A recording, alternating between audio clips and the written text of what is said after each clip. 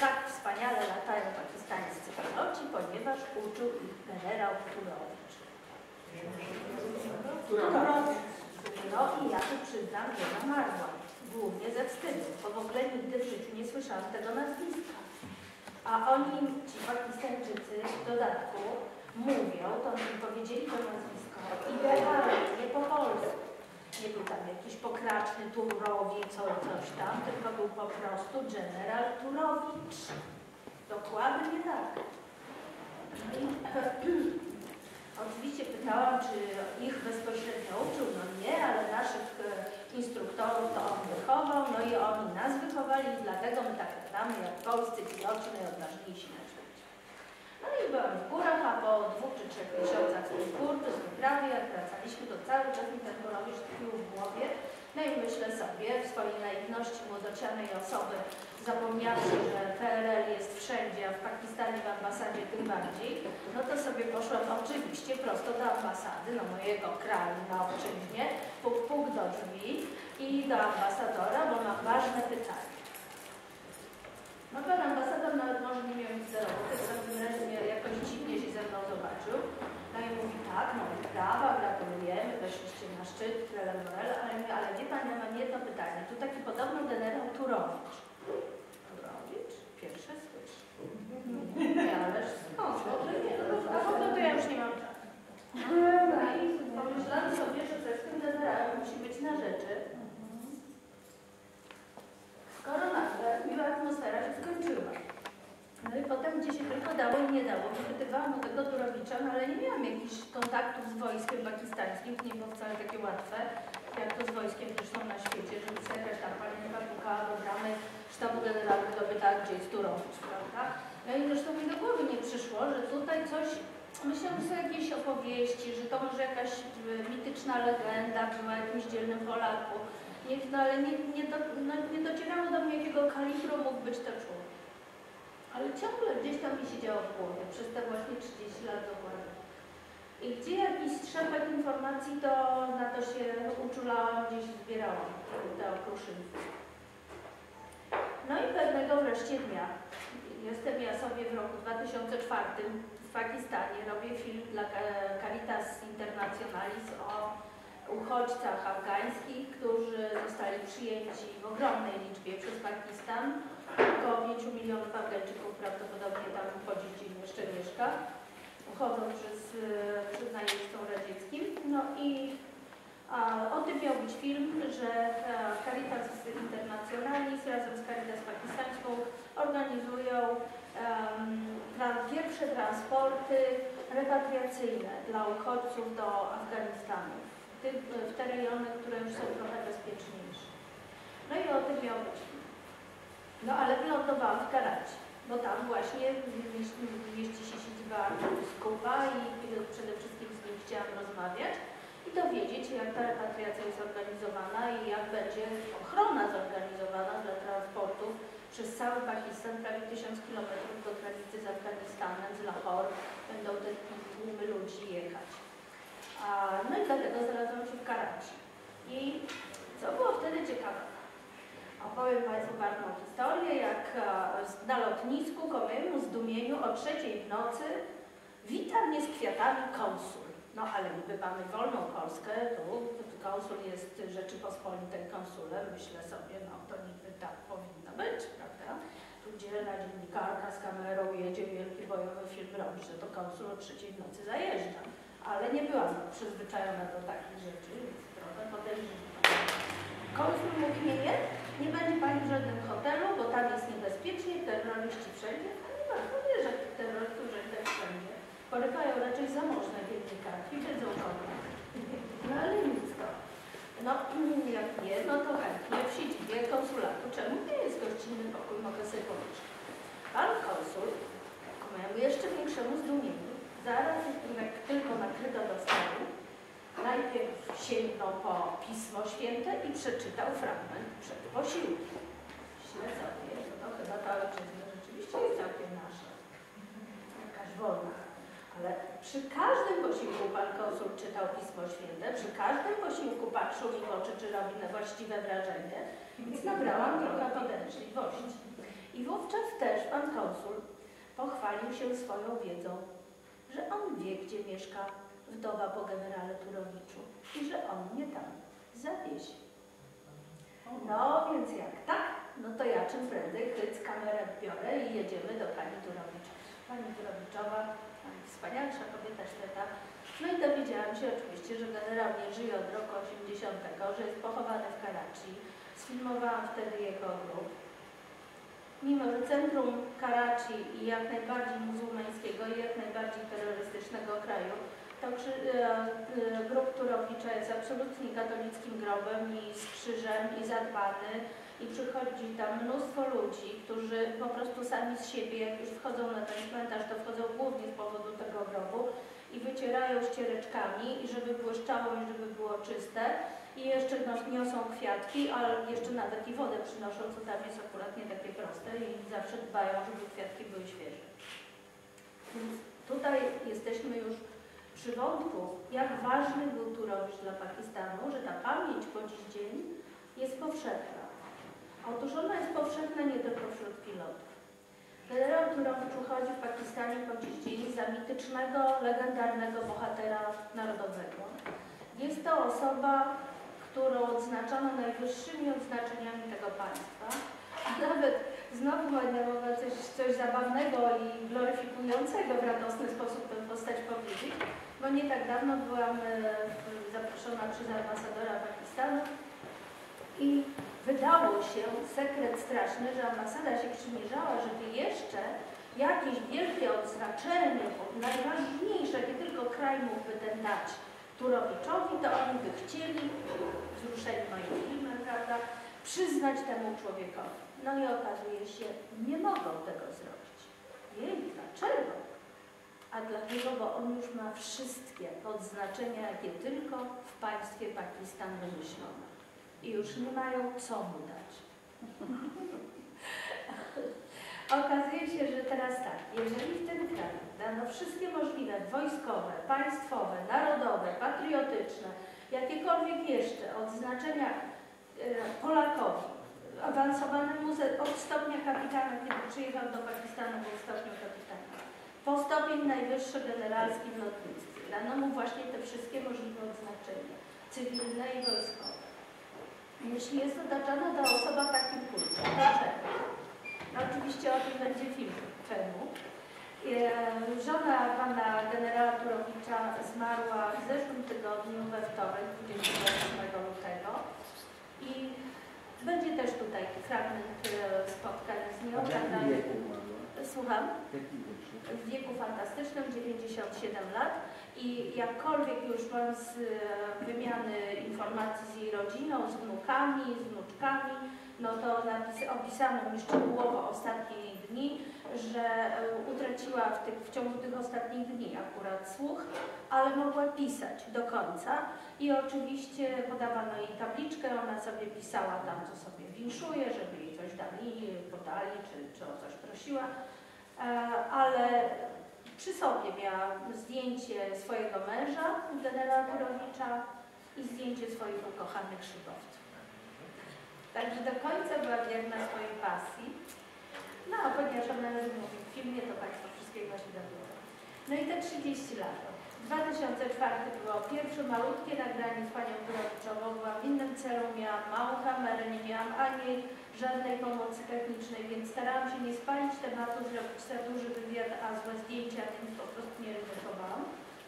No i jednocześnie byłam absolutnie pewna, że przyjadę z ofertą taką do polskiej telewizji, że mam możliwość zrobienia filmu o generale.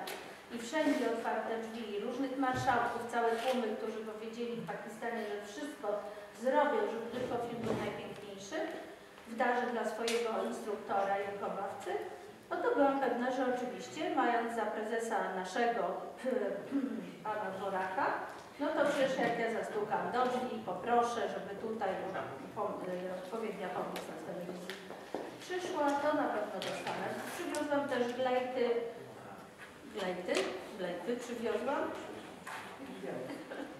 A to, bo i tak nie słychać.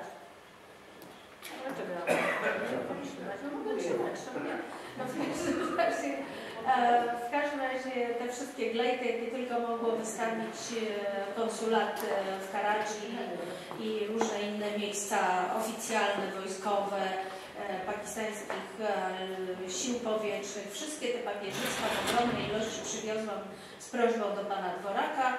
No i oczywiście pochylił się, powiedział, ach, fantastyczne możliwości, jakie to możliwości, jaki to piękny film będzie.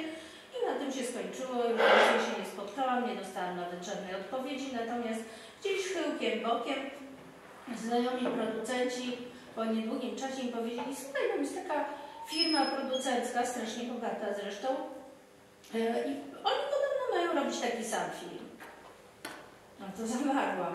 Okazało się, że po prostu mój scenariusz wylądował od biura prezesa, przeszedł jakoś dziwnie na własnych nogach, kilkanaście ulic dalej, do firmy prywatnej i się okazało, że tam ma być robione oczywiście przez kogoś innego.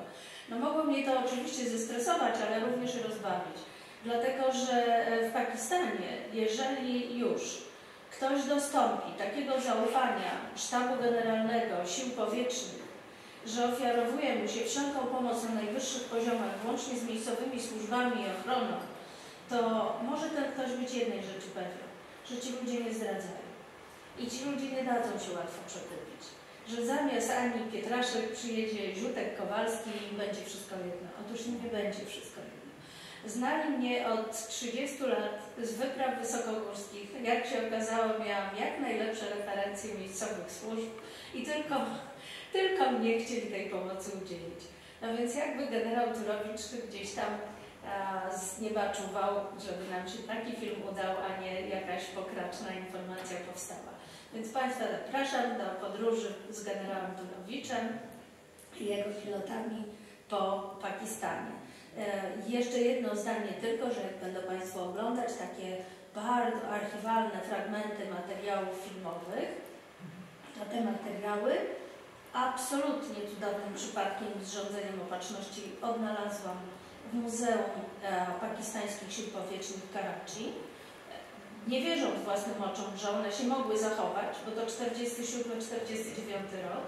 Następnie, kiedy poszłam do pana generała, szefa tego muzeum, no to byłam bliska zawału ze, ze stresu, bo serce waliło mi w gardle więzły słowa. E, bo kiedy chciałam go poprosić, e, żeby udostępnił mi te materiały, no, mając świadomość, ile kosztują takie archiwalia, to pomyślałam sobie, no przecież na to nie będę miała ani grosza. Tu w Polsce jedna minuta archiwalnych materiałów, jeśli chcę kupić z WFD własne materiały telewizji polskiej, to 3000 zł jedna minuta. A co dopiero tam można sobie wyobrazić pan generał wtedy powiedział, a co ja mogę lepszego dać Polsce w zamian za to, czego nas nauczył Turowicz i jego żona. To jest w prezencie do tego filmu. Także niech Państwo oglądają i z tą świadomością, że również prezent od generała z Muzeum Karachi oglądają wszyscy razem. W końcu zrobiłam oczywiście w Polsce i oczywiście przeczekałam pana Dworaka i oczywiście znalazłam taką redakcję, która nie, nie, nie biegła pytać pana prezesa, czy może robić ten film, czy nie. I e, oczywiście nie obyło się bez wielu przygód i wyrzeczeń. E, temat od razu podpisała Agnieszka Romaszewska w telewizji Polonia, a budżet był tak mały, że tutaj prosiliśmy też o pomoc świętej pamięci pana prezesa Kurtykę, i kamerę dostaliśmy z IPN-u. Wydawałoby się, że telewizja polska sama powinna dać kamerę, ale zabrakło na nią pieniędzy. Więc Kurtyka dołożył kamerę z IPN-u i dzięki temu, jak to zwykle w Polsce, partyzancką metodą udał się film, który dostał akceptację na festiwalu w Los Angeles i jeszcze na wielu innych festiwalach kursuje ta e, kaseta, płyta. Znowu mnie też proszą o jakieś wysyłki dalej. Więc zapraszam do do Ile lat to sobie obliczymy oglądając ten film, bo tam będzie wszystko napisane na płycie nagrobnej. Ja mam pytanie, bo wyczytałam y, gdzieś, że, że właśnie generał Turowicz zginął w wypadku, tak? Nie, nie. To inny Turowicz. Nie, w ogóle o żadnym Turowiczu, który zginął w wypadku, to nie wiem. Natomiast e, e generał e, w ogóle miał problemy z kręgosłupem, trochę też problemy ze wzrokiem. Dlatego na początku y, swojej kariery trochę latał, ale latał głównie pro- odprowadzając samoloty transportowe e, podczas II wojny w, już w Wielkiej Brytanii. E, Natomiast on e, przede wszystkim był mechanikiem lotniczym.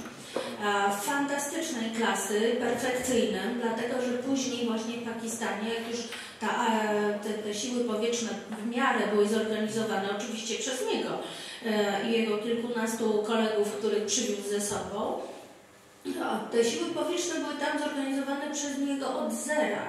E, To znaczy, proszę sobie w ogóle wyobrazić, olbrzymi kraj, no znowu nie pamiętam jakie ma terytorium, ile te setki tysięcy kilometrów, ale jest ogromny, a dzisiaj ma prawie 200 milionów mieszkańców, więc to nie jest taki krajik bez znaczenia. No, chociażby jak e, udzielamy jakiejś tam wypowiedzi do jednego z dzienników w Pakistanie, to śmieję się powiedzieć sama z siebie, bo dla nas dziennik, no to jej pewnie 300 tysięcy nakładu, no i ktoś tam czasem przeczyta. A tam się okazuje, że taki dziennik ma 12 milionów, tak? Że jest do kogo mówić i gdzie się publikować. To jest inna skala. Ale ten ogromny kraj, e, który wydzielił się z Indii, e, kiedy Indie muzułmańskie jakby odseparowały się, czyli w 1947 powstał kraj od zera, e, po drugiej stronie Indii na wschodzie Bangladesz, tak? Tutaj mamy ten Pakistan, 47 rok, wszystko e, na świecie poruszone przez drugą wojnę.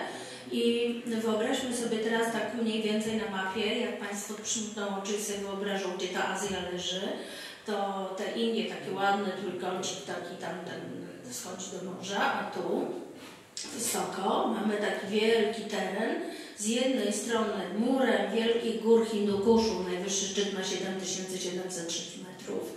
E, Ten wielki mur Hindukuszu ma prawie 3000 km długości i oddziela Afganistan od Pakistanu. To jest zupełnie inna skala. Jakie malutkie nasze Tatry się wydają wtedy, jak się widzi coś takiego.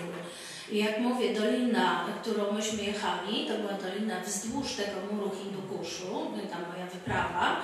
E, musiała jechać 4 dni, to i tak było szybko. E, dlatego, że ta dolina jest na, na jakby pokrojona innymi dolinami i przełęczami, jest bardzo trudna do zdobycia. E, I znowu od strony północnej ten kraj e, dzieli granica od Pakista, e, Pakistan od Chin, a granica przy najwyższych gór świata e, Karakorum. Karakorum, najwyższy szczyt, to jest K2, drugi szczyt Ziemi. A, bardzo trudny do zdobycia, ale to nie jest jedna góra, która wystaje nagle z ziemi, tylko to jest cały wielki mur, gór wysokości 6, 7, 8 tysięcy metrów. I ogromnie trudny do przebycia, przełęcze, skomplikowane doliny przechodzące jedna w drugą, em, ogromnie trudny do upilnowania teren. I teraz y, z drugiej strony mamy gra- granicę z Indiami, ciągle tak zwane disputed territory, czyli terytorium problematyczne e, z Kaszmirem, ciągle wojna i wojna, a na dole tego całego Pakistanu, co my mamy, oczywiście morze, więc przydałaby się jeszcze marynarka wojenna oprócz samolotów. No ale zaczęli od czego? No skoro trzeba pilnować kraju, a mieli wówczas na stanie jednego pilota w stopniu kapitana, jednego na cały ten kraj, a jeden stary samolot po Brytyjczykach. I jak teraz ten pilnować bezpieczeństwa tego państwa?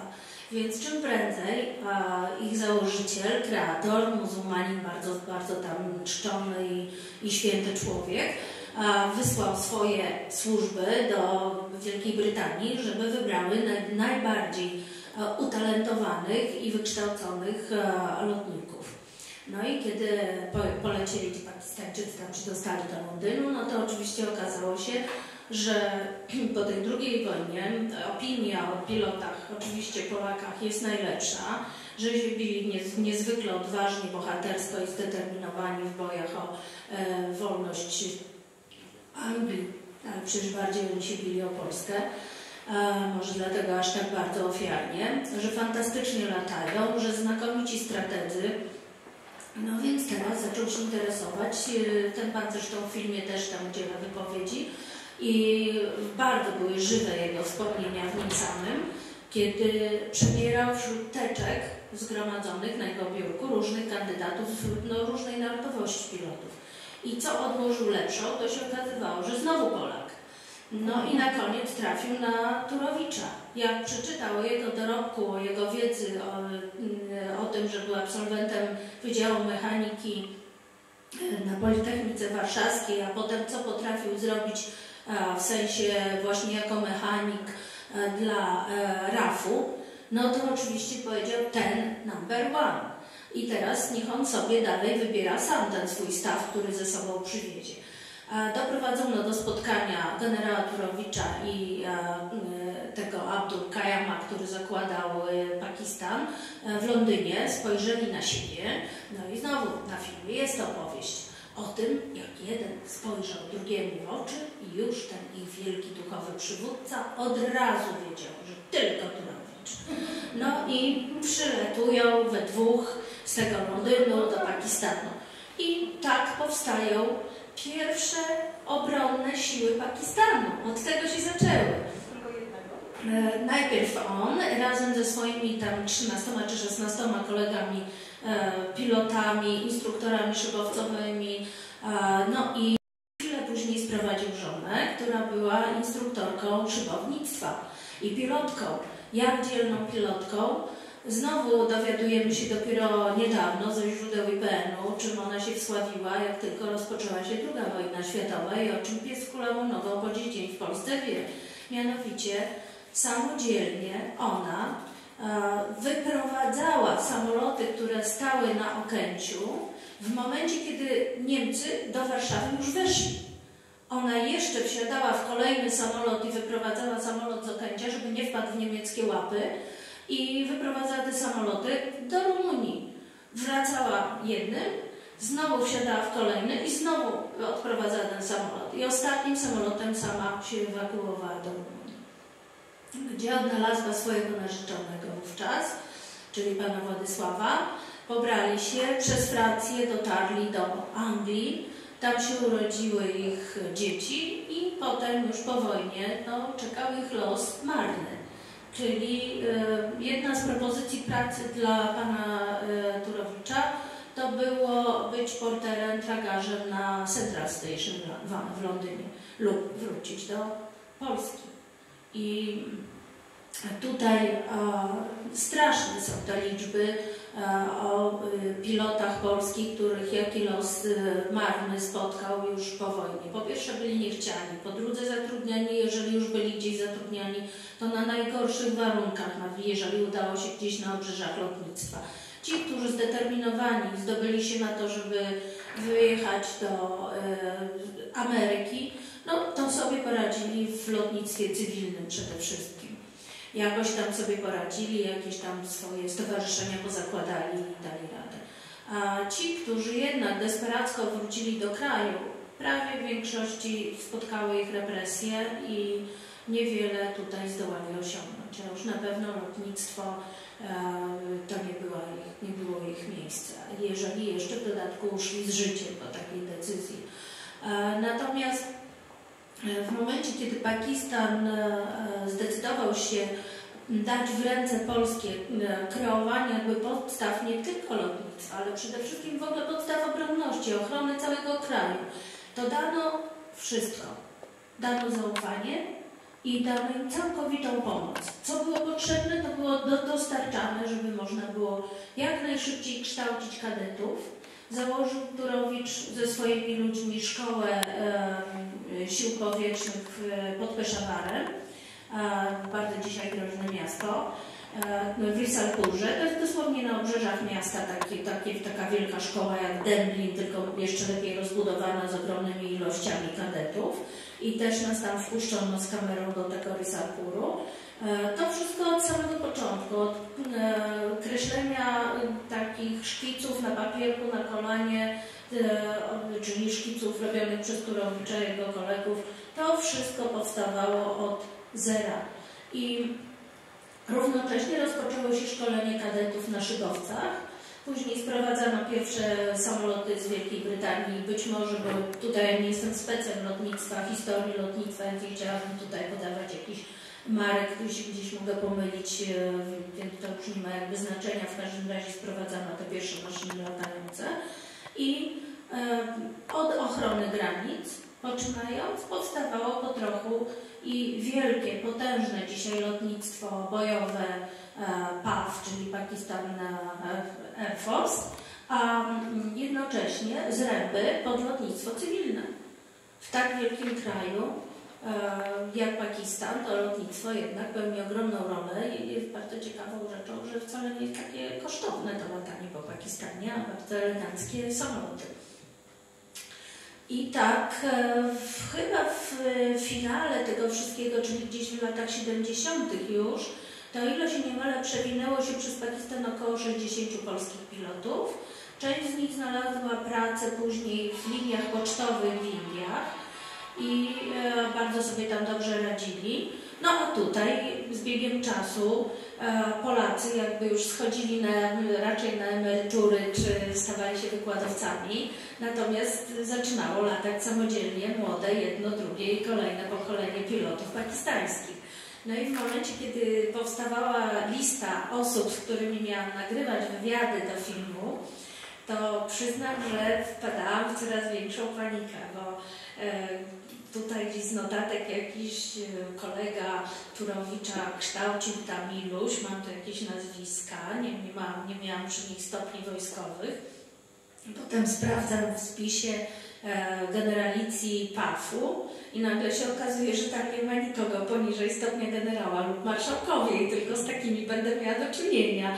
No i teraz jak się rozmawia z marszałkiem czy z generałem, no wiadomo, siedzi taka sztywna postać w mundurze i mówi, że tak, pamiętam Turowicza, wszystko było takie trudne i bardzo groźne, prawda? I koniec rozmowy. Tymczasem okazało się, że nie. Że jak tylko padało pierwsze pytanie, jak pan pamięta to pierwsze spotkanie z Turowiczem, to ci wielcy, naprawdę wielcy dowódcy ogromnej wagi i ogromnych wpływach w armii pakistańskiej topnieli natychmiast. Pojawiały się łzy w ich oczach. Oni wspominali Turowicza jak swojego ukochanego ojca, jak przyjaciela, a, który zrobił z nich takich wielkich ludzi. M, bardzo dużo młodych ludzi wówczas wyemigrowało z Indii. Bardzo dużo wśród nich było po prostu sierot. Chłopców, którzy chcieli się uczyć, którzy byli ambitni, selekcjonowano, ale oni potrzebowali wzorca, autorytetu, człowieka, który byłby wymagający, a serdeczny. I taki Turowicz był. I oni go po prostu kochali. Mówią o nim muzułmanie, mówią o katoliku, bez żadnych barier. Religia? Ale o co pani pyta? No on był katolikiem, to o co chodzi? Także w ogóle nie było tutaj jakiejś kwestii, że, że jest jakaś różnica. On nawet poszłem dalej, bo tutaj jest siostra, więc siostra myślę, że, że poprze wartość tej wypowiedzi, że katolik ma być świadkiem. Takie jest nasze zadanie. Mamy nie mieć napisane na czole jestem katolik i proszę na mnie uważać. Mamy być świadkiem. Świadkiem Jezusowej miłości. I myślę, że Turowicz właśnie taki był. On po prostu fantastycznie kochał tych swoich chłopaków. Był świetnym dydaktykiem, fantastycznym pilotem, odważnym człowiekiem, wielkim Polakiem. Wszystkie te cechy mogły tylko i wyłącznie e, rozniecać marzenia młodych chłopców o byciu kimś takim jak on. I to, że był katolikiem, zostało w nich po dziś dzień szacunek do tego człowieka, do tego świadka. Żaden z nich, a są bardzo wierzącymi, praktykującymi muzułmanami, żaden z nich nie widział tu w ogóle kwestii do, do rozmowy. Po prostu jeden wielki szacunek dla takiej osoby. Oczywiście i żona pana Turowicza. Żona pana Turowicza po jakimś czasie ściągnęła swoją koleżankę, e, która przyjechała razem z mężem, czyli państwo Mikulscy, też szybownicy, pasjonaci wyłącznie szybownictwa, no i już szkoliły we dwie ale na początku no to też e, starsi panowie generałowie i marszałkowie e, mówili, śmiejąc się do rozpuku, tak samo jak wtedy, kiedy mieli wówczas pewnie po 18 lat, no czy może sobie pani wyobrazić, przychodzimy na szkolenie, a tu kto? Kobieta i to jeszcze śliczna i blondynka i ona ma nas uczyć w muzułmańskim kraju latania. No i pani Turowiczowa mimo tych swoich lat i już za, zaawansowanych niemocy, to kiedy nagrywałam z nią rozmowę w roku 2008, a bardzo króciutko, była bardzo słaba, jak już było jej trudno już mówić, to dalej była jednak urokliwą kobietą. Nadjeżdża aparat, nadjeżdża aparat, uwaga, będziemy w Pakistanie. Urzędowy jest urdu, a na drugim angielski. Tak, a to jest taki sam jak w Afganistanie. O, zupełnie inny. To jest, e, w Indiach też jest inny. Zupełnie inny. To znaczy w Indiach jest hindi, czasem jest dopuszczany urzędowy sanskryt, czyli też tak jakby no, kiedyś u nas łacina, wypadało umieć, jeżeli ktoś chciał być inteligentem publicznie postrzegany. Natomiast e, w Indiach jest hindi, urdu również jest tym trzecim lub czwartym językiem urzędowym, ponieważ dość dużo ludzi z tego rejonu e, mieszka w Indiach, z tego rejonu kulturowego. Natomiast cały Pakistan to jest język urdu plus języki regionalne w rodzaju Pendżabi, który akurat jest bardzo znany z największych e, poetyckich osiągnięć, najpiękniejszych poematów pakistańskich. To właśnie w Pendżabi są pisane te, te teksty. A język urdu trochę, jeżeli się zna język Dari, tak jak e, typowy odmiana perskiego, która jest e, w Afganistanie, to jeśli się Dari zna, to można to urdu jako tako zrozumieć, a na pewno przeczytać, bo liternictwo jest to samo. Ale tak Jak na imię Władysław? Zofia. tak młody kraj i już potrafił język własny sobie. E, To nie właśnie oddzielenie się tego Pakistanu od Indii miało właśnie swoje bardzo głębokie podłoże. To nie było tak, że w jeden dzień wymyślono coś takiego, tylko było bardzo dużo konfliktów wewnętrznych w Indiach i wiele problemów e, między hinduistami a muzułmanami. Znamy tutaj historię e, bohatera Indii, Gandiego, czyli ojca duchowego całych Indii, który starał się sklejać e, wszystkie nacje i e, stosować e, postawę biernego oporu, czyli broń Boże nie tworzyć jakichś wojen, krzywd, nie dopuszczać do wojen lokalnych, no ale jednak muzułmanie byli tam bardzo podsycani, prawdopodobnie znowu jakieś zewnętrzne siły im w tym pomagały, no i wreszcie doprowadzono do zamachu na Gandiego. E, Spotkałam się z tym, że do dzisiaj wiele osób w Polsce interesujących się kulturą Indii i szczególnie piękną postacią Gandiego uważa, że zamach e, został dokonany przez muzułmanina. Ale to jest nieprawda, dlatego że po prostu no, zwykły Hindus, y, którego może przekupiono, może napuszczono, może jedno i drugie, przebrany po prostu za muzułmanina. Wobec tego poszła legenda, że, ten, że zamachowcem był muzułmanin. Ale za to powiem, jakie były ostatnie słowa umierającego Gandiego. Czy siostra wie? Nie. Ram he, Bóg jest. No tak, więc został wierny swoim ideałom. A Pakistan odrywał się właśnie z tego powodu, że Urdu, że inna kultura, że inna religia, że ciągoty do y, takiego stworzenia takiego kraju, gdzie muzułmanie byliby tą władzą nadrzędną. No i do, dlatego doprowadzono do tego rozłamu. No, również y, prawdopodobnie reszta świata była bardzo zainteresowana, żeby Indie nie były takie wielgachne, nie posiadały aż tak ogromnej ilości ludności, teraz sięga do miliarda, ale Bangladesz, y, olbrzymie państwo z jednej strony, oddzielone, oderwane w tym samym czasie od Indii, a z drugiej strony Pakistan, który się odseparował, no i między Kaszmirem a Afganistanem mieć takie terytorium jako samodzielne państwo, no trzeba dzisiaj pamiętać, że w Pakistanie są trzy bazy nuklearne. Także to jest bardzo potężne militarnie państwo.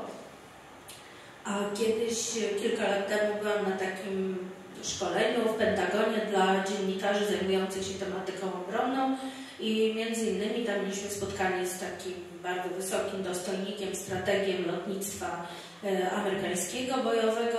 No i zadałam pytanie, kogo by, jaką inną armię la- latającą, bo siły powietrzne uważają za najgroźniejszego przeciwnika, czy naj, najgroźniejszą w świecie.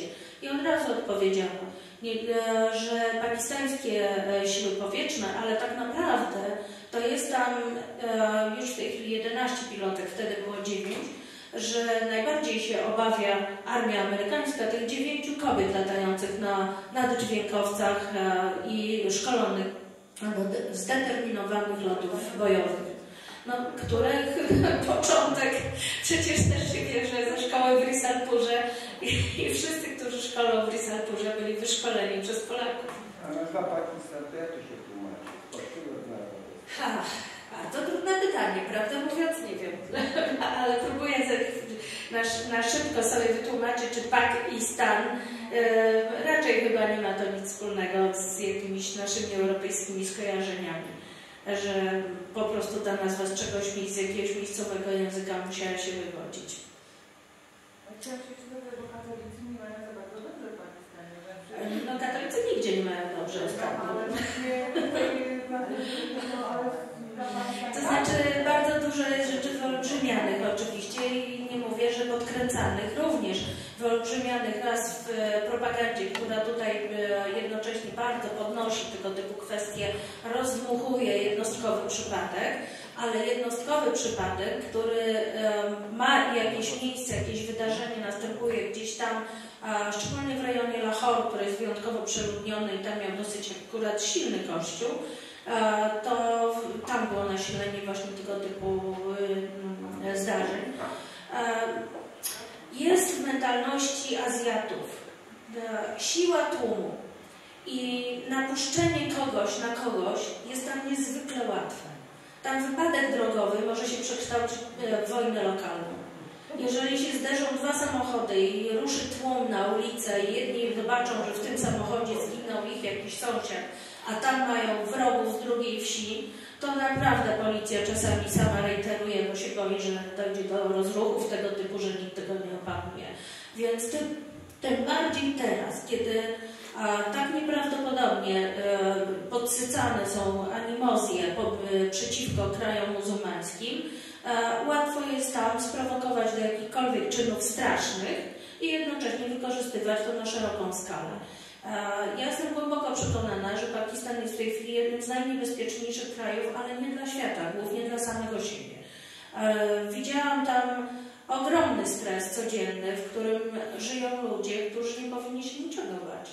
Ludzie, którzy na przykład e, zostałam zaproszona w gościnę do domu generała na emeryturze wojskowej w stanie spoczynku. E, Kiedyś był to kapitan e, armii pakistańskiej, dodany naszej wyprawie jako oficer łącznikowy. Kiedy się poznaliśmy, on miał 20 lat, a ja miałam nieco mniej, ale mniej więcej rówieśnicy, więc wiadomo, ploteczki, a co tam u Was w tym wojsku, a szuszu, tego mi nie wolno, ale Ci powiem. No i takie sobie tam różne dziwności opowiadaliśmy. A teraz po tylu latach, kiedy się dowiedział, bo gazety wszystkie pisały w Pakistanie, że przyjechała taka dziwna Polka robić film o ich bohaterze narodowym, no to ten pan generał się gdzieś tam ujawnił i udało nam się spotkać, co też jest charakterystyczne, do, na teren ambasady, mimo że m, byłam w ambasadzie w Islamabadzie goszczona przez bardzo miłego wówczas ambasadora, ogromnie pomocnego, nie mógł generał pakistański, mimo że w stanie spoczynku, wjechać ze względów bezpieczeństwa. Tak jakby miał być zamachowcem. A on się chciał po prostu spotkać z koleżanką, której nie widział 30 parę lat.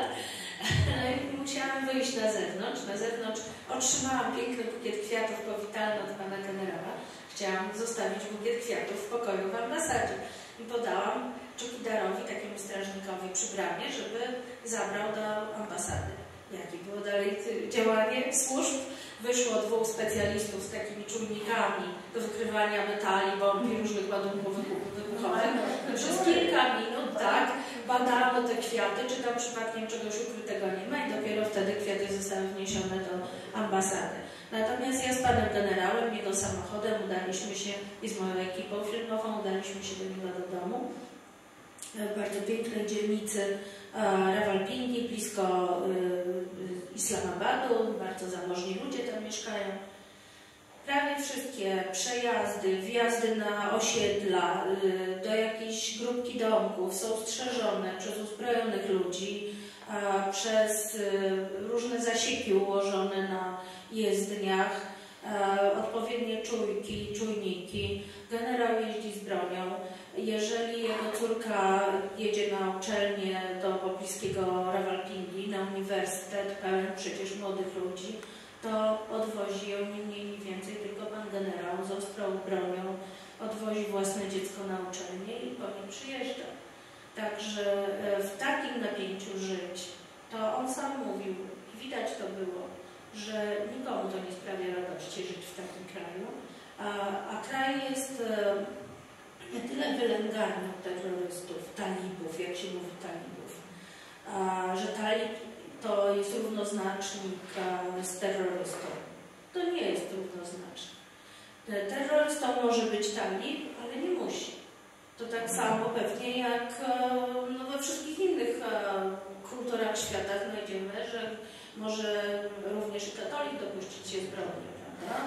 Ale tutaj to, no, może to porównanie jest zbyt śmiałe. Natomiast talibowie rzeczywiście są szkoleni w bardzo jednoznacznej interpretacji Koranu, bardzo nietolerancyjnej, twardej i nieustępliwości co do każdego brzmienia wręcz słowa w Koranie. Takie główne centrum szkolenia talibów znajduje się w Lahore i miałam kiedyś możliwość przez cały jeden dzień zwiedzać ten kampus e, talibski. Tam jest około 10 tysięcy talibów, studentów e, studiujących każdego dnia. E, Panowie w białych galeriach, bardzo elegancko ubrani i studiujący Koran rzeczywiście najrzetelniej, jak tylko można sobie wyobrazić. Nie ma tam żadnych żartów, żadnego chodzenia na piwo i żadnych wygłupów studenckich, tylko są po prostu oddani swojemu Koranowi bez reszty. A, Natomiast e, terroryści przede wszystkim to są bandy terrorystyczne, które są nakręcane przez rozmaite kapitały zagraniczne, przede wszystkim dozbrajane w e, broń e, rosyjską i e, przez Chiny. Te grupy band terrorystycznych, te, te gru, główne grupy, mają swoje siedziby właśnie w tej dolinie, o której opowiadałam, która jest jakby murem między Afganistanem a Pakistanem. E, Ta dolina ma taką konfigurację geograficzną, że jak Państwo wrócą do domu, będą mieli jeszcze ochotę zerknąć do internetu, jak wygląda Northwest Frontier Province. E, To jest cała wielka prowincja, jakby wielki, wielka część, dystrykt taki Pakistanu, wzdłuż tej granicy prawie 3000 km mającej z Afganistanem, w którym przecież jest wojna. E, No to będzie widać z mapy, że pilnowanie tych terenów jest po prostu niemożliwe. E, Natomiast bandy terrorystyczne mogą sobie tam dogadywać się z miejscowymi e, bosami czy szefami rodów i bardzo dobrze z nimi handlować łupami, których mają w brud. A e, kupowanie broni, no to właśnie, żeby mieć za to kupić broń, to dobrze czasem kogoś porwać. No, oczywiście bardzo chętnie porywani są dziennikarze amerykańscy, bo zawsze okup płacony jest prawie że natychmiast. Więc e, myślę, że co do dziennikarzy polskich, to jeszcze, jeszcze się nie zdarzyło. No, poza tym może jakoś tam nie ma za dużo tych chętnych dziennikarzy polskich do jeżdżenia do Pakistanu. No, kiedy tam byłam, e, też Wam Państwu zdradzę, y, jak to może powstać legenda, że nie tylko ja byłam w roku 2008 w Pakistanie z moją dzielną ekipą, strzeżona przez wszystkie możliwe służby Pakistanu, żeby broń Boże nam się nic nie stało.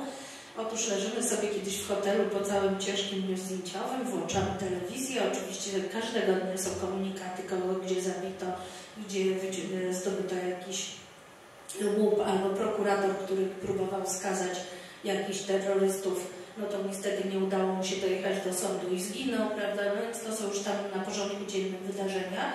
Natomiast e, usłyszałam nagle e, z telewizji polskiej, e, że bo można tam e, przy dobrym e, telewizorze i dobrych przekaźnikach eleganckich hotelach oglądać również telewizję polską, że korespondent TVN e, jest w tej chwili w Pakistanie. Tu jakieś miasteczko, jakaś dziwna nazwa pojawia się na mapce, telefonik, prawda? I on tam nadaje przez ten telefonik tego mieszkania. Słupiałam, myślę sobie, jakim cudem on się tam w ogóle znalazł. No i czym prędzej w ambasadzie u, u swoich przyjaciół sprawdziłam. Nie ma, nic mi nikt nie powiedział, że on tutaj jest, przecież te chłopaki zginą w tym miejscu. O, wiesz, jak to jest można z Warszawy nie wyjeżdżać, taką mapę narysować, telefonik narysować i niby nadają korespondencję. Nie ma ich w Pakistanie. Także to jest Będzie ciekawszy niż pan. Dziękuję za wysłuchanie. Się iść, tak? A będzie film? Będzie film, tak. Tylko czekamy, ko- kolega zaraz przyniesie e, tam, na którym zobaczymy. Nie będzie to na tym, ale będzie. No, ponieważ kawa z herbatą jest, to myślę, że Państwo jeszcze wytrwają trochę. Już tyle przetrzymaliśmy tego opowieści o Pakistanie. Ale pytanie, e, dzieci, to też w Pakistanie?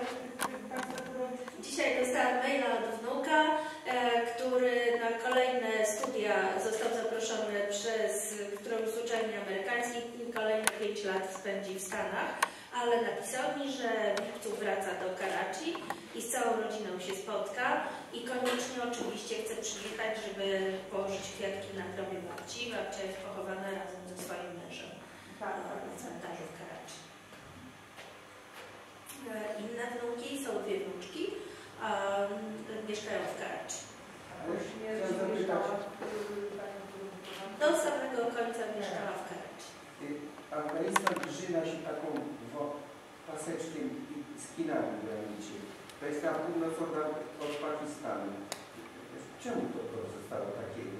To jest dolina na północy. Takim paseczkiem to nie bardzo, może to się Panu tak wydaje, dlatego że tam jest taki mur góry, która ma 7706 metrów i ona stoi takim rzeczywiście ścianą, murem między Pakistanem a Wahanem.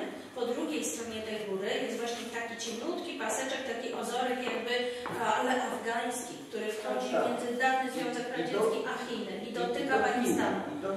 Ale to jest afgański teren Tak, i tak. bardzo tak no tak zostało z jakichś historycznych, pięknych ruchów, a myślę, że geografia też to narzuca, że właśnie ten e, Hinduszu tak kształtuje naturalne granice Pakistanu z górami właśnie, że e, tamta jakby druga część, bardzo niedostępna ze strony pakistańskiej, już została tym Afgańczykom przypisana. To jest dolina. tak. To są schodzące, boczne doliny, które schodzą do takiego płaskowyżu e, oddzielonego Amudarią od Związku Radzieckiego. No bardzo piękne są te rejony, no, tylko że po stronie afgańskiej w większości są zaminowane góry i już nie ma teraz co marzyć o takich wyprawach, na które jeździliśmy całymi pasjami. Po dwa, trzy razy w roku wjeżdżało się do Afganistanu, bo tam było bardzo tanie. To jeszcze wtedy do, do roku 79-80 było mnóstwo polskich wypraw, po kilkanaście, nawet chyba pewnego sezonu do 30 wypraw e, wysokogórskich, spinaczkowych polskich doszło. E, Właściwie większość szczytów w Afganistanie jest zdobyta przez Polaków. Pakistanie nie, no bo są dużo trudniejsze góry, to było już mniej dostępne. A Tirichmir został zdobyty też przez wyprawę polską w 1978 roku, e, w- wyprawie, w której uczestniczyłam i w której innymi brał udział Jurek Kukuczka. Wtedy siedmiu kolegów stanęło na szczycie, dokonało tam wejścia, pier, pierwszego wejścia nową drogą polską. I tam Kukuczka zginął. Nie, Kukuczka zginął e, na Lotse w górach e, Nepalu, w Himalajach. E, Lotse jest takim szczytem pobocznym do Monteverestu. A, a, a Rutkiewicz też tam Ona z kolei też w Himalajach na Kaczendządze, też ośmiotysięczniku, który jest położony w północno-wschodniej części Indii i może być atakowany raczej od strony właśnie indyjskiej, tam jest e, łatwiej dostępny lodowiec. Ona no, zginęła, wydaje mi się, że po prostu Wanda nie bardzo chciała wrócić już tam... Została, została w namiocie na wysokości 8000 metrów. Prawdopodobnie tam biwakowała, no nie było innego logicznego wytłumaczenia. Prawdopodobnie tam została i, i do dzisiaj tam jest. I nikt tam do mnie nie dotarł. Bo to jest bardzo trudny rejon i praktycznie nie stosuje się takich wypraw po- poszukiwawczych po latach, żeby ściągać e, jakieś e, pozostałości. E, Opady śniegu na takiej wysokości są wielometrowe. Więc jeśli przy, przychodzi zima i zasypuje taki namiot z kimś w środku, no to, to już właściwie odnalezienie tego namiotu jest praktycznie niemożliwe. Nawet na następny rok, a to dopiero 2-3 lata później. A bardzo ciężko dostępny teren, e, trudny wspinaczkowo, nie byłoby zbyt wielu e, śmiałków wśród himalaistów świata, żeby zdobyć taki szczyt. No mniej więcej można ustalić. No może kiedyś e, gdzieś dużo niżej jakieś, jakieś szczątki zostaną odnalezione, ale to jest naprawdę prawie niemożliwe. To, to są tak ogromne przestrzenie, tak wielkie e, pokłady śniegu, lodu. E, No tutaj e, z polskiej perspektywy, jak widzimy nawet ten najbardziej śnieżny i straszny czas zimowy w Morskim Oku w Tatrach, to to jest zupełnie nic w porównaniu z Himalajami. Co tu jeszcze Państwu powiedzieć, bo tak czekamy cierpliwie, ofiarnie na. Wnuki mówią po polsku. E, córka mówi po polsku. E, córka, wiem, że ma dwie z kolei córki. Mieli e, trójkę dzieci, córka i syn zmarli wcześniej. Także została tylko ta córka Anna, która razem z nimi mieszkała. próbowali chodzić w latach 70. czy 80. E, Udało się generałowi Durowiczowi przyjechać do Polski w 70 latach, chyba dwukrotnie, odwiedzić przyjaciół, odwiedzić ro- rodzinę, ale tylko musi- musiał zrobić to pokrętną metodą. Nie mógł liczyć na normalną wizę. Wykupił po prostu sanatorium jako dewizowy gość, prawda, z angielskim paszportem. E, wykupił sanatorium w Inowrocławiu. No i tam w tym sanatorium mógł e, być odwiedzany przez kolegów, e, którzy jeszcze tu w Polsce mieszkali. I tylko w ten sposób, i pewnie też chodząc po jakichś gęstych krzakach, mogli sobie pozwolić na zwierzenia. Prawo dziewczyn wolny, tak? Nie było zainteresowania. No, film był pokazany, zaraz po realizacji był pokazany w Akademii Obrony Narodowej na Wydziale Lotniczym, więc to już był wielki sukces. Miał być pokazany w Dublinie, ale okazało się, że jakoś nie za bardzo, no, tak jakoś ciągle nie za bardzo. E, Pan Kurtyka e, przymierzał się do tego razem z ambasadorką Pakistanu e, w roku 2009, żeby w 2010 roku zrobić e, pokaz filmu na Marszałkowskiej w siedzibie IPN-u. Mieli przyjechać też marszałkowie, generałowie, którzy występowali w tym filmie. Miała być wystawa fotograficzna, no ale wydarzył się 10 kwietnia. Także zniknęły te plany, w ogóle przestały natychmiast interesować kogokolwiek w IPN-ie, mimo że fotografii też jest mnóstwo. Zrobienie wystawy jest dziecinnie proste w tej chwili, ale mimo starań ambasady, e, wspierania mnie wielokrotnie, niestety nie udało się doprowadzić do tej wystawy do takiego pokazu w IPN. Mimo, że... że Ciekawe, że to jest Nie jest to jakieś niepoprawne, niepoprawne. No nie jest niepoprawny, wydaje mi się, że tu naprawdę nie można się niczego doszukać, no ale, ale mówię o świetlistej i świetlanej i świetlistej postaci Polaka, który potrafił tak wiele zrobić. Gdzieś został doceniony i a, został e, uhonorowany. Te wszystkie medale, które dostał w Pakistanie, tak samo należały mu się w Polsce, prawda? No, Owszem, były, organizowane pokazy w stowarzyszeniach e, lotniczych, e, w e, takich no, aeroklubowych, powiedziałabym, stowarzyszeniach raczej weteranów lotnictwa.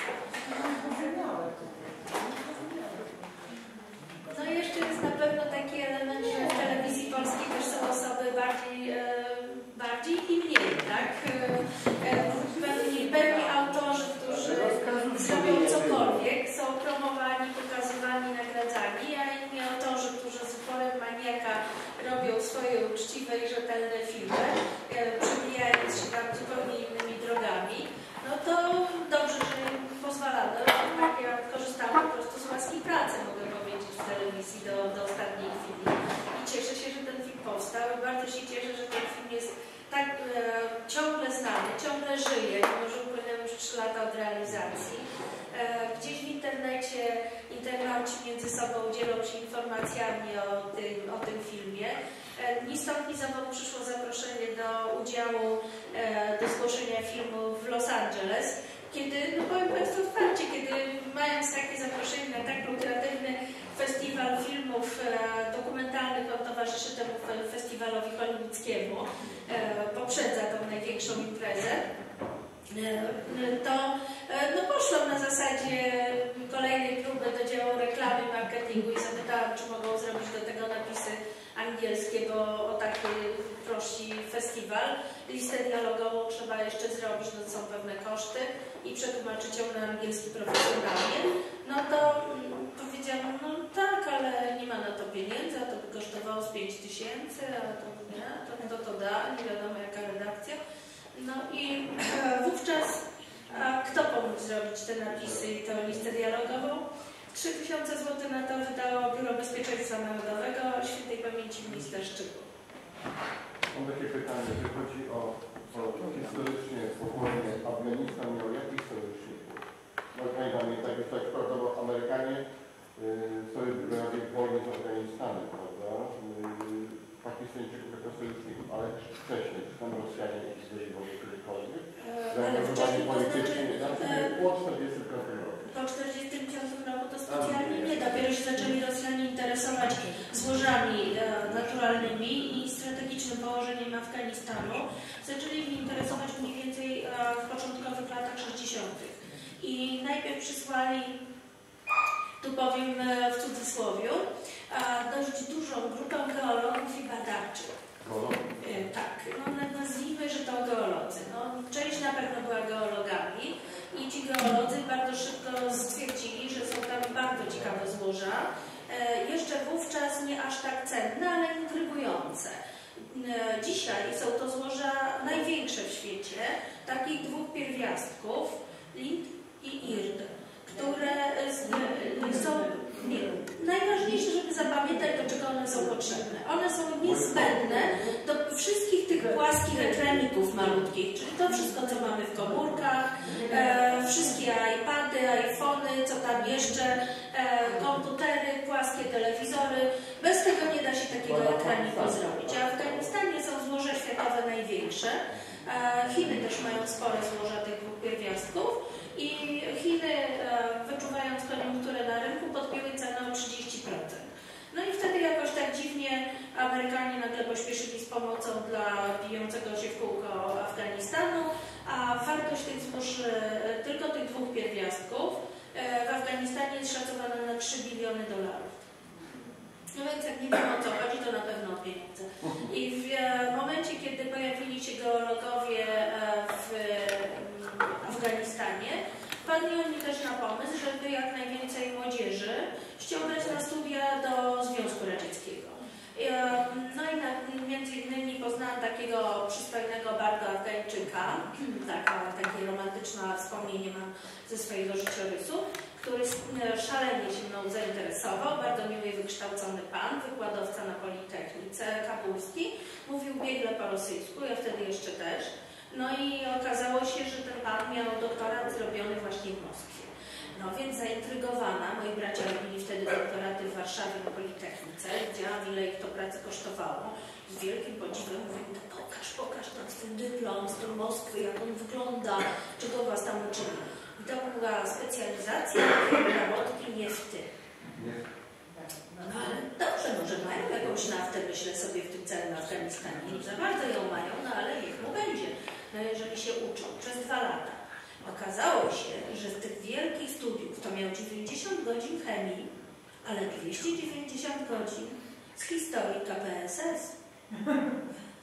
No i tak oto zrobił doktorat z pierobotki niefty właśnie w Moskwie i z takim doktoratem przyjechał do Kabulu i został natychmiast wykładowcą. No a jak został sobie wykładowcą i tak e, Rosjanie tam planowo, powolutku przygotowywali teren, to potem jeszcze dopuścili do czego? Do masowych ruchów e, tak zwanych turystów z Polski. Alpiniści jeździli rzeczywiście na dziko, narażając się na nieliche problemy z przeprawami przez Amudarnię. E, Trzeba było naprawdę majstersztyku wiedzy i informacji, żeby móc tą, z każdą turystyczną się przerzucić. Nigdy nie spotykały nas żadne przykre wydarzenia e, po stronie afgańskiej. Byliśmy przyjaciółmi, przyzwyczajeni też e, jako ubogie wyprawy do tego, że z ubogimi ludźmi przestajemy. My Traktowaliśmy Afgańczyków jako po prostu partnerów spinaczkowych. Mieliśmy ogromną estymę e, wśród górali afgańskich. Natomiast jakby na naszych plecach nagle otwarto kanał, tak nieoficjalnie, dla handlarzy. I pewnego dnia w 70 chyba 9 roku, jeszcze jak tam przekraczałam właśnie granicę y, w Ternezie, zobaczyłam jakiś dziki, oszalały tłum na, na promie, jakichś półprzytomnych, oczywiście napitych Polaczków z jakimiś siatkami, jakieś damule, które jechały nie wiadomo po co do tego Afganistanu, w te przecież te pani tam w ogóle poginą, może one powoliły jakiś kraj, może w ogóle nie wiedzą po co tam jechać. No ale one świetnie Jechały głównie po kamienie szlachetne, złoto oraz kożuchy. I to towarzystwo najczęściej miało swoje budki albo na bazarze Różyckiego, ale w przewadze na bazarze w Rembertowie. I przywożono setki kożuchów, robiono olbrzymie majątki na tym. Oczywiście urzędy celne też musiały być poinformowane, że ci, którzy wiozą tysiąc kożuchów na osobę, to nie są biedni alpiniści z 10 dolarami w kieszeni, tylko swoi ludzie i mają te majątki robić. Ale jeszcze jaki był podtekst tym wszystkim? Te osoby woziły wódę. Woziły po prostu hektolitry alkoholu do Afganistanu, w którym nie było tradycji picia. Koran owszem, ale Afganistan nie był może aż tak bardzo ortodoksyjnym muzułmańskim krajem, a jak inne, więc troszkę z przymrużeniem oka, czemu nie, można tam sobie łyknąć. E, W 1979 roku, kiedy załatwiałam formalności w jednym z urzędów e, afgańskich w Kabulu, zrozumiałam, do czego to wszystko służyło. Urzędnicy byli najczęściej na bani już e, odpowiednio wcześnie. Zaczęły być na porządku dziennym bardzo chamskie zachowania w stosunku do kobiet. Kiedy wchodziłam do urzędu przedtem, mimo że byłam e, no, długowłosą młodą osobą, e, nigdy nie spotkał mnie żaden przykry wyskok urzędnika. Już w 78-79 bardzo często pozwalali sobie na jakieś dwuznaczne uwagi. O, jak miło, że panienko przyszłaś, coś takiego. Ale ponieważ ja już byłam tyle razy w muzułmańskich krajach wówczas, dobrze byłam e, obyta z kulturą, tradycją i również e, granicami traktowania kobiet, mogłam odpanować wtedy bardzo surową myśl, że przecież jesteś muzułmaninem, dlaczego się zwracasz w ten sposób niegrzecznie do mnie, bez pozwolenia mojego brata i bez pytania mojego ojca, czy ty w ogóle do mnie możesz mówić. I wtedy panowie trzeźwieli. Ale e, większość e, pań handlarek e, miała takie maniery, bo one po prostu były te panie z księżyca zrzucone, no po prostu ufolutki, a gdzie chudeczka była oczywiście od rana do wieczora, pełna swoboda w zachowaniach, totalne, powiedziałabym, chamstwo, byleby tylko jak najtaniej kupić te kożuchy i przywieźć do Polski i tutaj spieniężyć i mieć te swoje zyski. Po, po co to wszystko było? Dlaczego Rosjanie dziwnie e, zgodzili się na takie rzesze handlarzy, właśnie tego rodzaju handlarzy kursujących przez ich teren? Dlaczego to nie oni jeździli? Rękami Polaków po prostu zmiękczono cały grunt wśród urzędów, doprowadzono do rozbuchania korupcji, do załatwienia wszystkiego za łapówy, rozpito urzędników. No i wówczas wystarczyły dwa samoloty, jeden pocisk, żeby zdobyć ten kraj, żeby armia radziecka mogła sobie śmiało wejść. A nawet już e, widać było gołym okiem w 79 jak przez Amudarię przepływały promy z takimi, mówiono, maszynami rolniczymi z przekąsem, przykrytymi zielonymi plandekami i ustawiano bazę po drugiej stronie Amudarii. A potem już tylko ten właśnie jeden, jeden czy dwa samoloty, które spuściły jakieś tam teoretyczne bomby na Pałac Królewski i przejęto władzę e, w Kabulu w ciągu jednego dnia, dlatego że było, był cały ten Kabul nafaszerowany już e, ludźmi, którzy byli skłonni do współpracy z e, ruskimi. No i tak 17 lat okupacji radzieckiej e, w Afganistanie to była jedna wielka rzeź. To było morze krwi, to było wymordowanie jednej czwartej ludności Afganistanu. Połowa ludności Afganistanu znalazła się na uchodźstwie. Większość z nich w Pakistanie, prawie 2 miliony w Iranie, w Pakistanie około 5 milionów ludzi. A ruskich?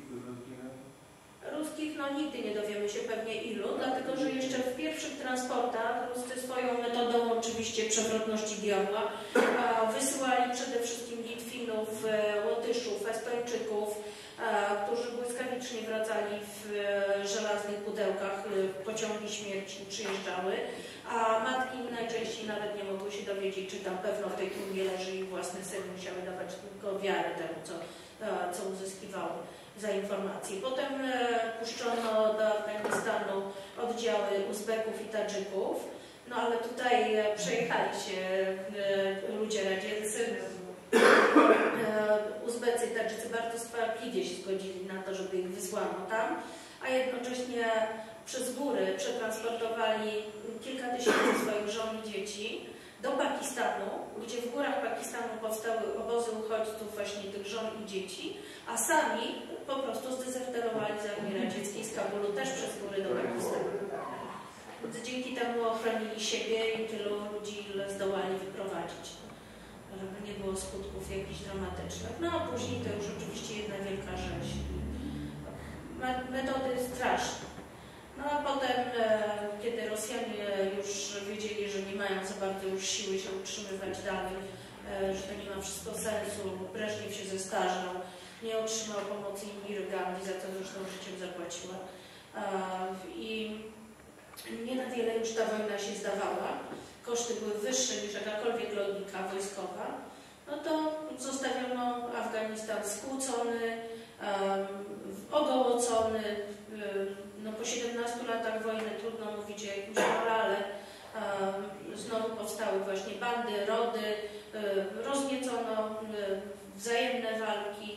No i oczywiście można było wtedy ukuć e, powiedzenie, że talibowie to jest najgroźniejszy element na świecie, wszystko co złe to terroryzm to talibowie.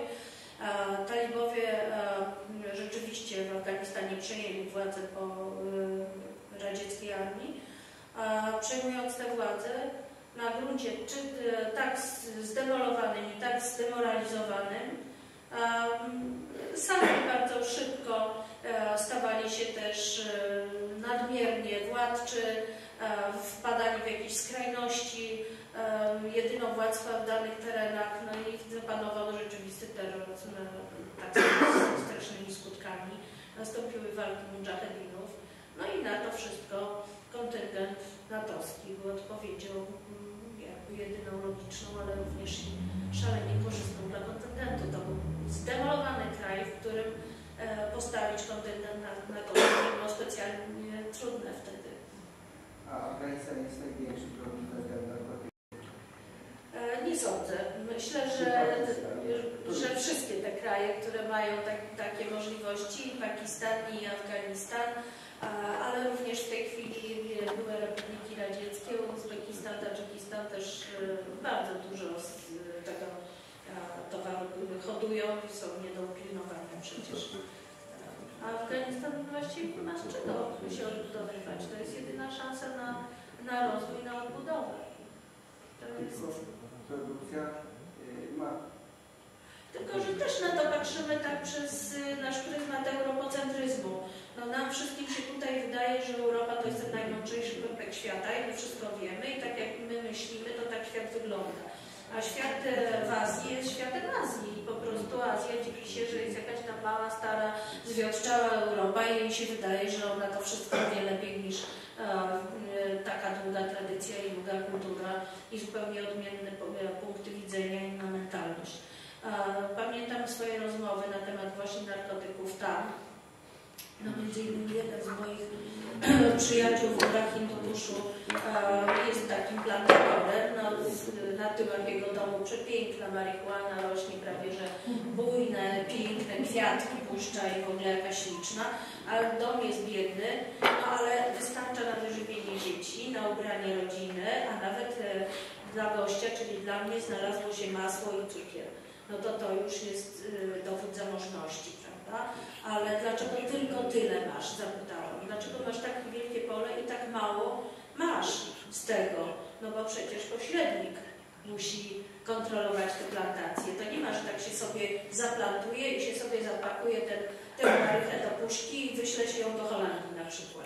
Musi być do tego pośrednik, cały wielki łańcuch, więc e, na początku ten hodowca dostaje naprawdę niewielkie pieniądze. E, No a hodowle oczywiście w Hindukuszu mogą powstać wszędzie, no to tam będzie to sprawdzał. E, Jakaś zieleń piękna, bujna rośnie. Ale jak rozmawiałam tam, czy w Iranie, w Mułło, e, na ulicy Iranu pod meczetem, miałam okazję też z takim Mułło bardzo światłym rozmawiać, to pokrywają się te e, opinie. E, muzułmanie, którzy uważają, że świat będzie kiedyś do nich należał, e, mówią po prostu, wy macie e, zegarki, a my mamy czas. I e, ci ludzie od tych zegarków e, pędzący na ślepo, w lewo, prawo, nie wiemy już po co żyjemy, a mówią dalej, my tylko sprzedajemy towar, na który tak bardzo Europa czeka. Gdyby nie było popytu, nie byłoby podaży. A zobacz, co narkotyki zrobiły z kolanki. Czy ktoś im kazał? Oni pragną narkotyków. I teraz zobacz, w Europie mieliście największego mędrca świata. Kto zna z Was na pamięć jego homilię? Ten wasz największy, najmądrzejszy guru powiedział tyle, że Europa powinna być potęgą światową, słuchając jego słów. A Europa nie zna ani jednego cytatu na pamięć z tego, co ten najmądrzejszy człowiek powiedział. A ty znasz, zapytałam Mułę? A proszę bardzo, to porozmawiajmy o stanie rodziny w Europie. Rozwody. Przecież to takie normalne. A zaczyna się od rozbicia wiary i rodziny. I zobacz, jak ten wasz mędrzec mówił o rodzinie? Dokładnie tak. Wiara i rodzina. I ty go znasz? No tak, oczywiście. Ten muła mógł na wyrywki cytować homilię Jana Pawła II. A my? A Pani to jak było z. Indirą Gandhi było tak. W Indiach ludzie bardzo wierzą, nawet bardzo wykształceni w astrologów. Nie przychodzi No tak właśnie się złożyło, że najpierw była porada astrologa, bo zaczęli się stawiać Sikowie. Sikowie to jest e, grupa, którą bardzo łatwo jest e, rozpoznać, bo noszą piękne turbany kolorowe, najczęściej są świetnymi przemysłowcami i handlowcami, bardzo sympatyczni, a mężczyźni nad wyraz przystojni. No więc po tym poznajemy Sika. No i teraz ci Sikowie wymyślili sobie, że będą e, na przygraniczu z Pakistanem tworzyć swoje odrębne państwo. E, Kafiristan miało się to nazywać, a stolicą miało być Amritsar, gdzie jest Złota Świątynia, słynna Złota Świątynia, Gurdwara, e, największa świątynia Sikhów na świecie. A Sikhowie mają jeszcze pewien wyróżnik, który może dla Polaka być bardzo e, podgrzewający nasze serca, mianowicie solidarność. Oni solidarność rozumieją jako takie proste słowo. Jak solidarność to solidarność. I jeżeli tam któryś Sikh biednieje nagle, to wszyscy inni Sikhowie robią zrzutkę pomagają mu, żeby nie stracił wszystkiego i później on jest również zobowiązany pomagać innym. Solidarność rodowa, solidarność religijna. Bardzo pięknie rozumiana. Wcale nie są jakimś tam krwiożerczym plemiem. No ale postanowili jednak trochę od tych Indii się odciąć e, i tworzyć swoje. Indisze to nie bardzo odpowiadało, nie chciała żadnych e, kolejnych terytoriów czy wpływów tracić. No i zapytała astrologa, co tu robić. Bo jedyny logiczny wniosek, no jakieś czołgi wysłać tam w te rejony, żeby Złotą Świątynię otoczyły przynajmniej, upilnowały, żeby nie dochodziło do rozruchów i jakichś rozruchów. No i zapytała astrologa, czy to dobry pomysł. No, astrolog powiedział, że to jest świetny pomysł, rewelacyjny pomysł. No i teraz tak, Indira Gandhi albo nie doczytała historii, znaczy czegoś nie bardzo, tej własnej historii narodowej, nie wiedziała. Ktoś jej tego nie przypomniał, widocznie też miał jakiś cel w tym, a astrolog na pewno miał bardzo duży cel, żeby ją na to namówić. Zaraz Państwu powiem, jaki. No więc Indira Gandhi podjęła decyzję i wprowadzono czołgi na teren Złotej Świątyni. To teraz sobie wyobraźmy, że generał Jaruzelski się rozpędził i wprowadził w stanie wojennym czołgi na teren Jasnej Góry. To też nie wiem, czy by długo poszło. Natomiast kiedy te czołgi na, tej, na terenie Złotej Świątyni się znalazły, to wróćmy na chwilę 150 lat wcześniej. Był tam pułkownik brytyjski, kolonizator Amilcaru i wprowadził na teren Złotej Świątyni, żeby sobie zdobyć e, szlify generalskie, armaty i odpalił do ludu, który przyszedł się modlić. 1500 ofiar, tragiczne, e, świątynia spłynęła krwią i jeden z ocalonych cudem chłopców został wy- wychowany, wykształcony w najlepszych brytyjskich uczelniach i mając 20 lat tego właśnie generała Odajera zastrzelił, ni mniej, ni więcej, tylko na środku parlamentu w Londynie. I tego Indira Gandhi nie pamiętała. Wprowadziła czołgi, a astrolog, jak się później okazało, no oczywiście zemsta musiała przyjść, kto za- zastrzelił Gandhi, no jej przyboczny Sikh w zemście za to, co ona zrobiła w Złotej Świątyni, czyli powtórka z historii. Ale jak później napisały, a Parimacz czy to napisał, ja tam to czytałam, gdzie był astrolog przez pół roku, zanim właśnie doradził Indirze wprowadzenie ten, tych czołgów. Otóż był przez pół roku w Moskwie. Teraz zapraszam Państwa na film. Proszę Państwa, będzie tutaj, będziemy tutaj oglądać, bo tak tylko laptopem nie wspomniemy, ale jest. E, dokładnie. Nieraz to może Ja chyba szef telewizji pewnie gdzieś w nocy. No właśnie, tak, który pamiętam, ale usta chyba no,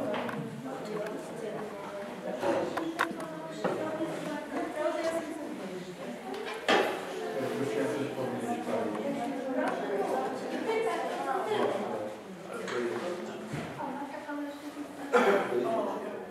Czy Pani kandydata No właśnie, zbieram trochę tak, postawić telewizję z IPN-em i odnaleźć się w tej nowej rzeczywistości. Ten też się zmieniło. A Pani ma taką niesamowitą, że No i to jest bardzo podobno największa wada. W Polsce widzę dużo obiegów. Będzie co oglądać? Gorąco zachęcam, że Pani jednak artykuły. Tysiące właśnie fotografii, bo to jest coś niesamowitego.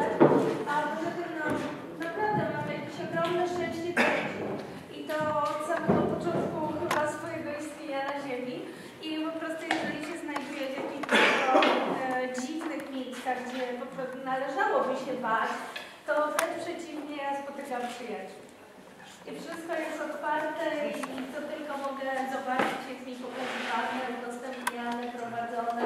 No nawet się pochwalę, jakby Państwo chcieli pojechać do Afganistanu, to mogę zaprosić do własnego mieszkania, bo tam dwaj e, tacy no, byli e, tragarze górscy, e, no, którzy zostali mianowani przez Talibanu imigracji, czyli od, ponoszą odpowiedzialność za moją osobę, to zbudowali dla mnie specjalny pokój z, uwaga, z łazienką, z łazienką. W górach Hinduszu i ile razy przyjadę z przyjaciółmi, może być tyle, ile tu jest, to się zmieścimy.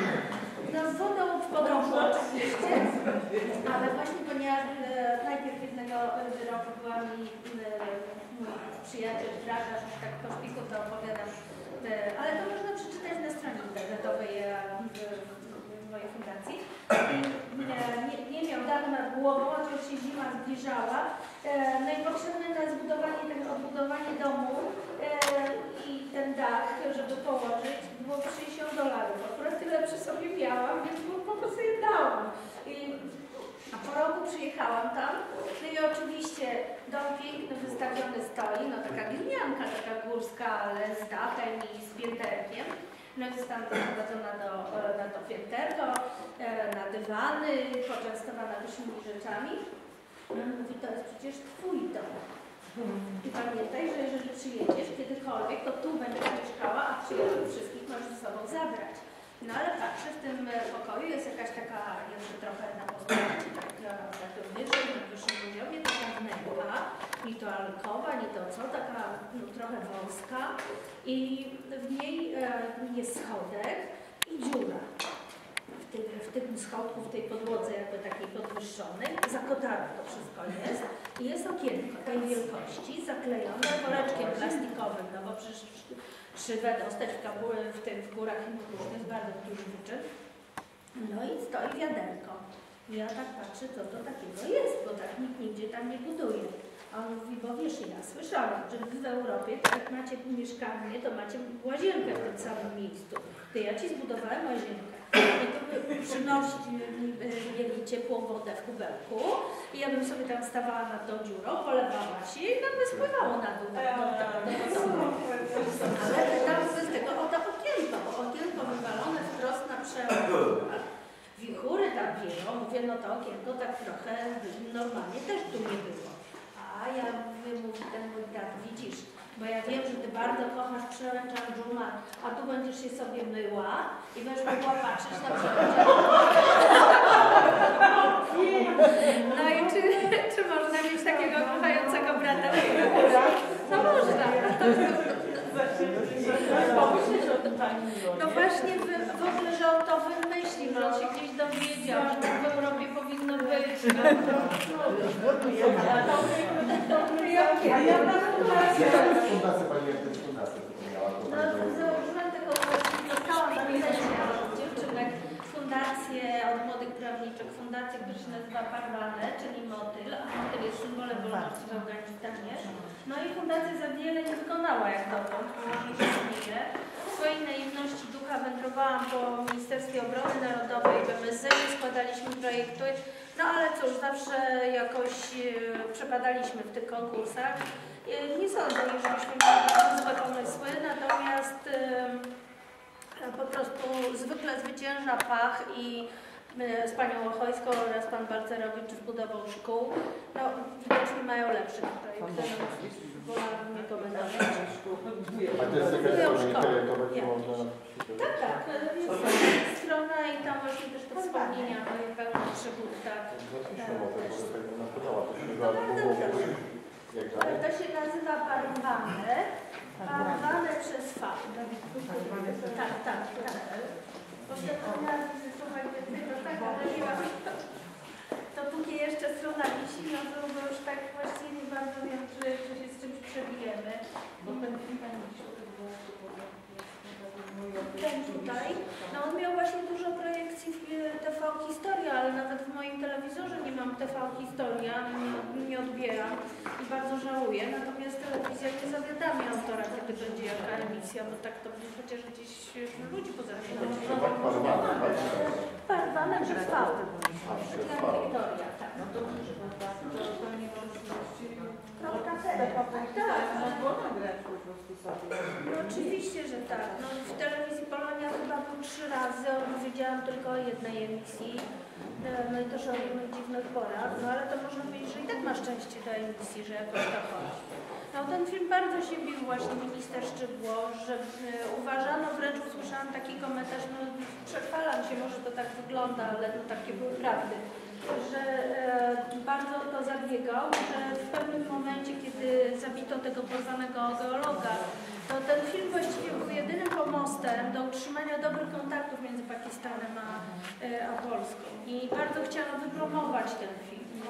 W Pakistanie pisały wszystkie możliwe gazety, przyjeżdżali korespondenci. Doszło do tego, że nawet przyjechała delegacja dziennikarzy z Pakistanu, z ichniejszego Newsweeka, e, pakistańskiego wydania, z dzienników czołowych e, na, no, na zaproszenie MSZ-u i pierwsza rzecz powiedzieli, a gdzie jest ten film, bo my byśmy chcieli zobaczyć i z autorką się poznać. No i się nagle w MSZ zrobił podpok, jak to zrobić, żeby im zrobić pokaz tego filmu godny. No to zadzwonili, ja mówię, no proszę czego zadzwonić do prezesa telewizji, jest tyle sal filmowych, pokazowych, kolaudacyjnych i zrobią projekcję, no ale nie ma wersji angielskiej, a to moja wina? No to wobec tego wersja angielska była zrobiona w trzy dni właśnie też za sprawą pomocy pana Szczytu. Wszystko wariactwo, no nie może być nic normalnego. Za mało widzowie naciskają na swoje telewizji, czy w ogóle na telewizję o, o jakiś rozsądny Ja myślę, że to przedział. Minimalne znaczenie może mieć, bo prostu wariactwo decyzyjne w telewizji jest już tak rozpasane, że nic nie. E, Telewizja Trwam też ma swój udział w tym filmie, Państwu powiem, bo e, zdjęcia, tak główne zdjęcia, bo robiliśmy na dwie kamery, e, te zdjęcia główne robił mój były praktykant e, z telewizji Trwam. I mogłam go zabrać jako operatora telewizji polskiej, bo teraz pracuję w telewizji polskiej, a zaczynał mm, właśnie w Toruniu. A ile osób realizowało tak w sumie, ile Pani było na Pakistanie? Były trzy, z czego dwuosobowa ekipa, czyli y, operator i ja z drugą kamerą, a jeszcze był trzeci kolega, czyli fotograf y, delegowany przez pana e, Kurtykę. Raz, żeby nam pomógł, bo we dwójkę byśmy się ugotowali z taką ilością pracy, a y, trzy to to, żeby mógł sfotografować wszystkie możliwe dokumenty, fotografii i tak dalej, żeby, żeby skompletował. Pani długo pracowała w scenariuszu, tak? No, mogę powiedzieć 30 lat od tego pierwszego lotu Dakotą, że, że już jakąś wizję zaczynałam wtedy tego mieć. A Pani zaczynała gdzieś Film pilotów się już E, pani się zajmowała spotkałam tego, bo bardzo mało jest wiadomości na ten temat. I raczej większość z nich chyba po prostu z, po e, jakimś okresie pracy wyjechała albo do Stanów, do Anglii, albo do pilotów pani nie było w stanie. No one były po prostu dosyć, powiedziałabym, e, Nie, coś tam. Tylko on jeden właśnie został e, Kurowicz razem ze swoją żoną już z pełną premedytacją, ale też naprawdę mówiąc e, pewnie nie miałby czego szukać gdziekolwiek indziej. E, nie- Zachodny nie, nie zrezygnował z polskiego, więc odebrać nie było. Na narodzie pakistańskie też. Jest żoną przy mężu. Pakistańczyka. E, Pakistańczyka bardzo wykształconego pana. E, Nie, zdaje się, że ma coś wspólnego z e, przemysłem zbrojeniowym. Także on jakiś nie bardzo może wyjeżdżać. No, mam bardzo dużo różnych filmów, także co Państwo będą chcieli, to proszę tu do naszej przewodniczącej zgłosić, bo mam również i filmy o tematyce religijnej, katyńskiej, e, o księdzu Peszkowskim, o bardzo, mam bardzo ciekawy wywiad z arcybiskupem Majdańskim, e, także jak najbardziej. To tylko co Pani Przewodnicząca. No tak się relacja ze spotkania zbierałam, ale jak jeszcze będzie nie zostawił, to już Także wiceprezes Ania Pytaszek który y, no, spotkał się z wielkim przyjęciem. Co powiesz dla słuchaczy niepoprawnego radia PL?